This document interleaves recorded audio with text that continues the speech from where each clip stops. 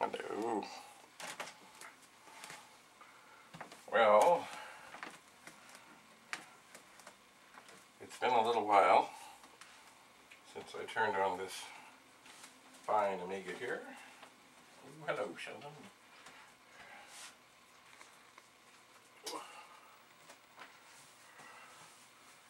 It has been maybe a couple of hours. Maybe not. So this is the one that has a hard drive inside somewhere. I've never had it open. Um, but it would not fire up. The hard drive would just go eh, eh, eh. And then I burped it and started. So now I've given a little while to sit. Let's see what happens. Oh, it's coming to life.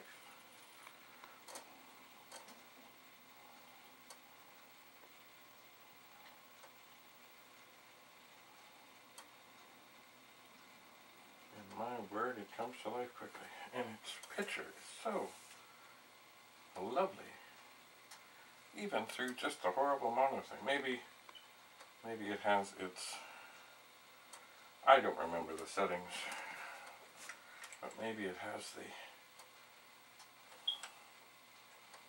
the settings.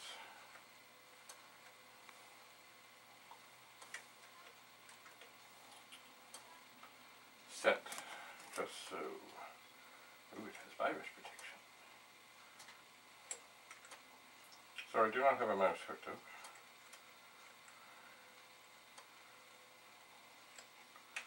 So I'm just using the cursor keys here.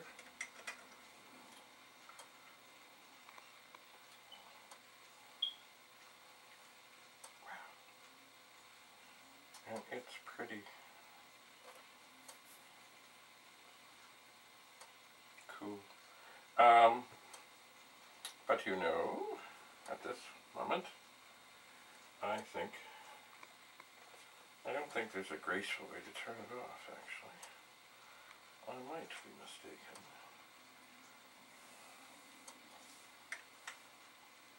But I don't seem to remember a graceful way. Let me just move into position here. Oh, that one.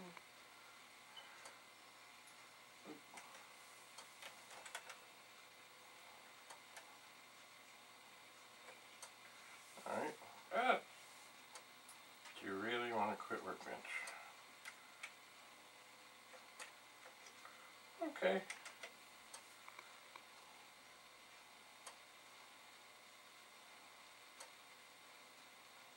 Well, that really doesn't shut it off. Alright, so I'm going to shut that down.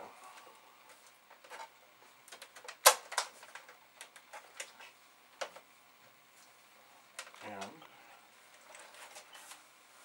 I see a big ribbon cable inside the side. The expansion port cover is missing. That's no big whoop-de-doo. But there is a beautiful example of an Amiga 500. Beautiful. It's very clean.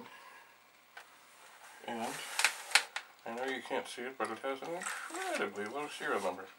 Little smudging on the bottom but nothing terrible. So I am going to put this down with, no, not there, tremendous care. I do not want to hurt this. No way, no how.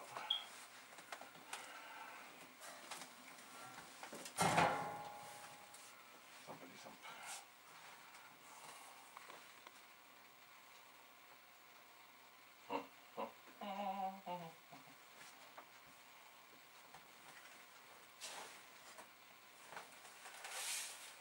Well, maybe I'll just tuck it over here gently. So, now uh, here is an Amiga 2000 that has been damaged by a leaky battery. which is somewhat tragic. Well, at least I think is what happened. There could be other things wrong. Who knows? Who knows? Because, I mean, the 500 I was just working on, there was no leaky battery. And I had three bad chips. Three. So, it is time, I think, to try and gracefully, somewhat gracefully, without hurting anything underneath, to try and get some chips out to test them and see what's what. So first, come come.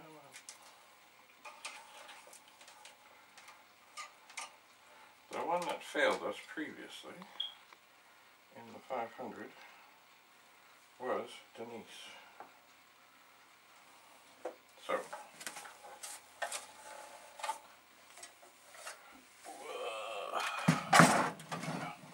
Okay. So nice. So, first, let's get some power and some video. This is the Amiga 500 we've been sort of testing everything with. Oh dear. And now we have to wait because I left the disc in.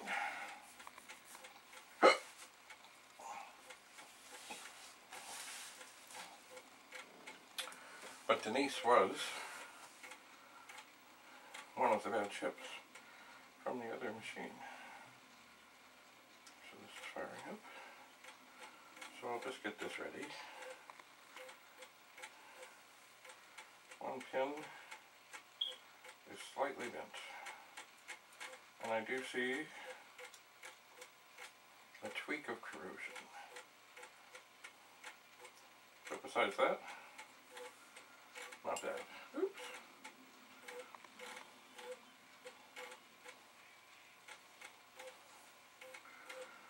So we will wait. I will take this disc out, so there is no more waiting. I know, as soon as I go to pick this up to take another chip out, this is going to finish. It finished. Okay, so we're going to take that disc out, so we do not run into that again. And gently, carefully, we will take our flat blade screwdriver, oh, pretty good, and we to Denise, there, and then, with great care, line up this one, oops, that didn't feel good, line up this Denise cheap, push it in, and everything looks good. Let's just see if the machine fires up. And it does. I don't feel like watching it go through the entire process of booting up. So, I forget now. If we had to replace Gary,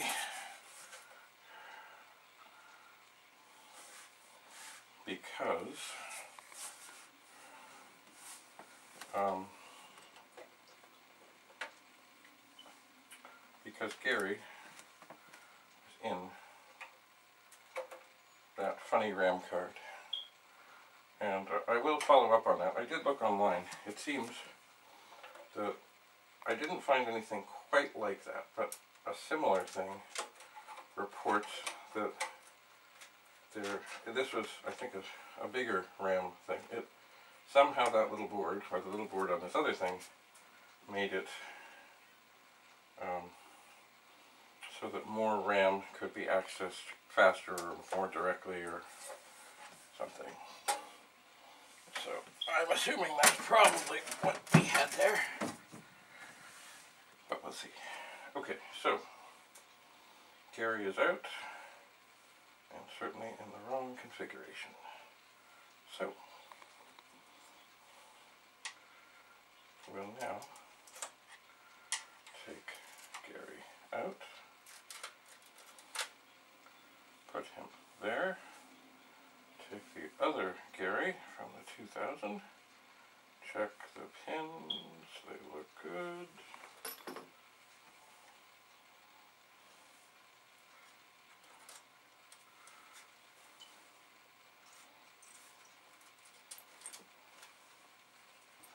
And we're in. Alright, we will apply power. It is asking for workbench. So that too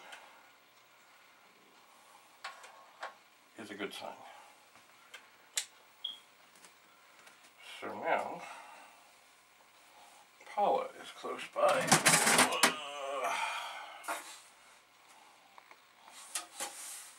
Although she looks,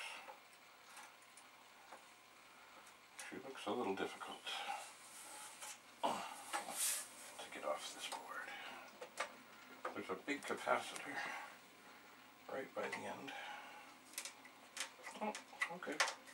Nope. She's coming.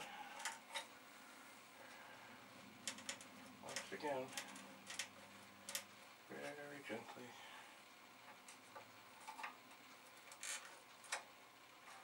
Very gently.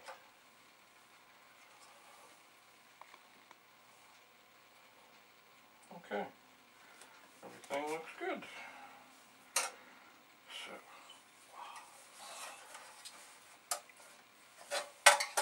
So we'll put this down. Oh. And on the 500, Paula and Gary are right across from each other and in very, very easy to get out, I think. There's not really anything in the way. There we go. So, and this of course is in the wrong configuration. The pins look good.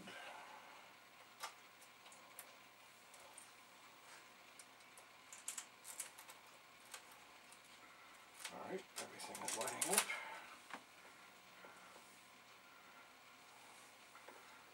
We will apply power. Okay, asking for workbench. Good sign. See, as much as I would like to find a bad chip in here, I don't think that's going to happen. I think we really do have a ruined board. I do. Which is sad. So, what is this?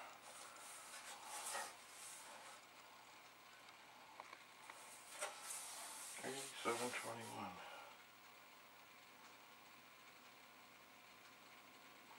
I don't know what that is.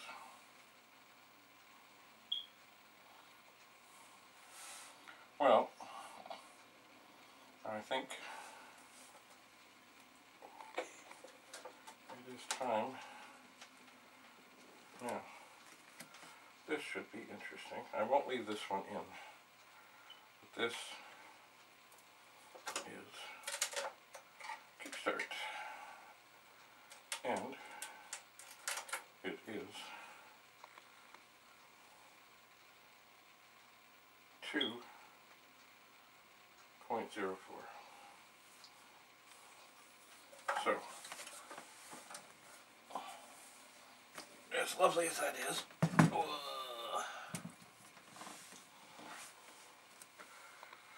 we'll put it in. And test it, and then we'll take it out. So there. Pins look good.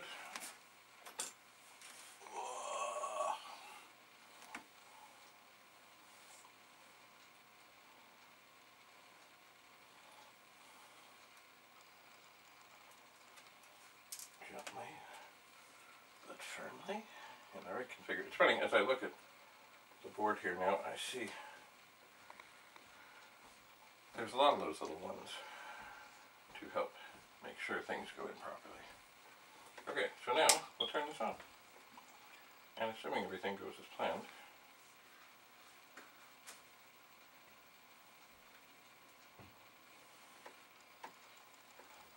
Ooh.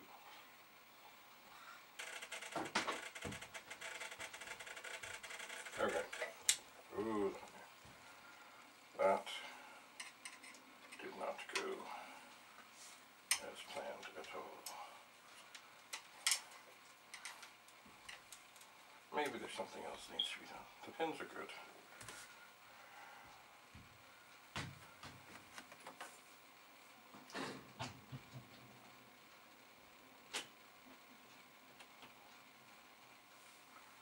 I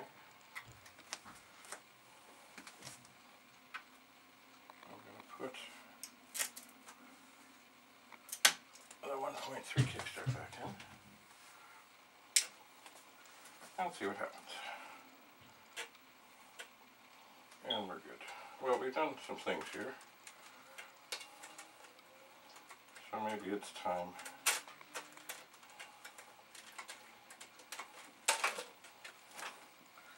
to try and stick a disc in. And make sure that it still fires up. Now, it may be that this is fine. I don't know. Maybe there's other things that need to be done when upgrading. I think there are. So, I'm going to put that chip over here.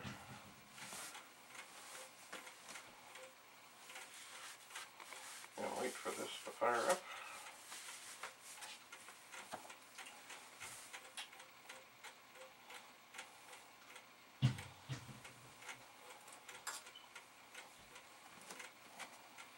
And, well, there. It's doing its thing. Maybe.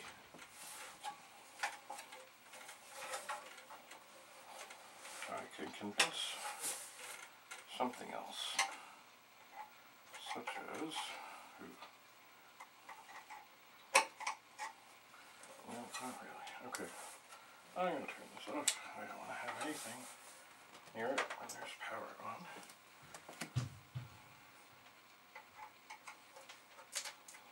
I'm going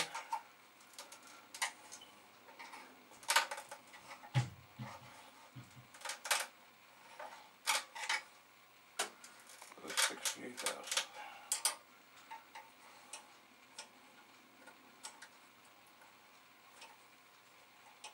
This chip is very close to where any damage might have occurred on the board.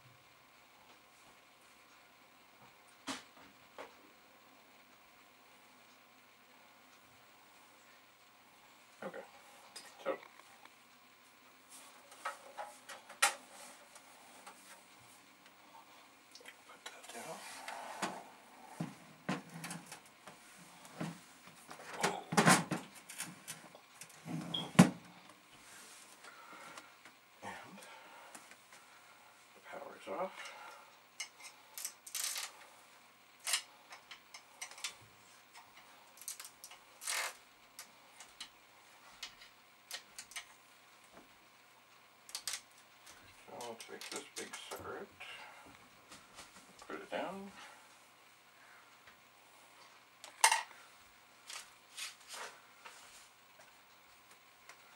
and replace it. Thus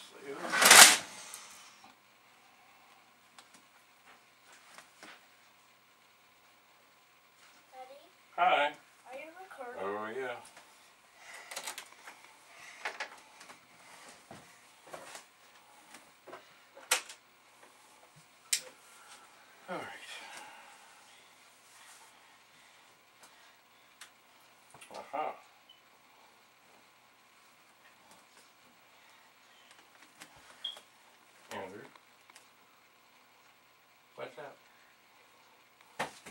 until you're done.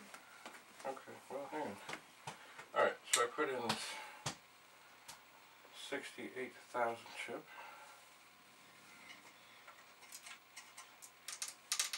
And nothing happens. So I'm going to take it out. Ooh, make some noises.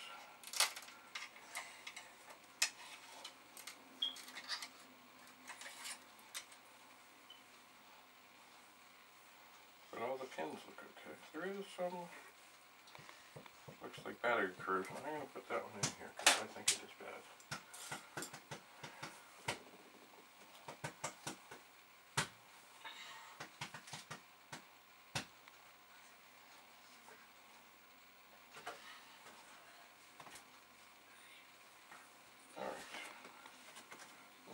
Original back in. So, Daddy, Yeah, when will you be done? not long. How Uh, many minutes? I don't know exactly. But it goes faster if you're not sitting there and with me worried about you knocking things over. I'm not. Okay. Alright, so back with the original 68,000 chip. And we're back up. So this is very likely ruined. Let me just have a look at this board and then we'll decide if we'll continue at this moment or not.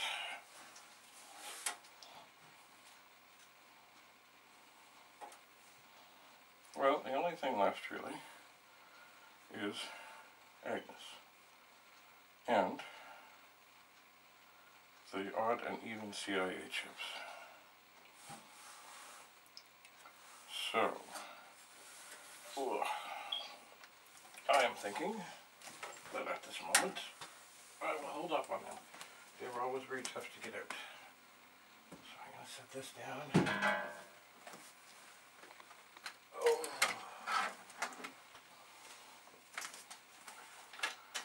I'm going to put this up here. This is the this was the dead one. And we may have some chips in order to help it along, but we're not there yet. One complication is with this also Amiga 2000 it has a different version of the Agnus chip. So I just want to make sure that I'm good. So I guess the last thing before I finish up is I'm going to turn this on so I can see that it still works. I'm going to pop the disc in.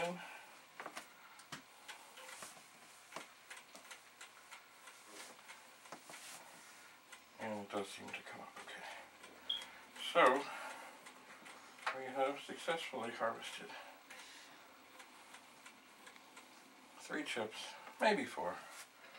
We'll have to work on that kickstart and see what's up with it. So,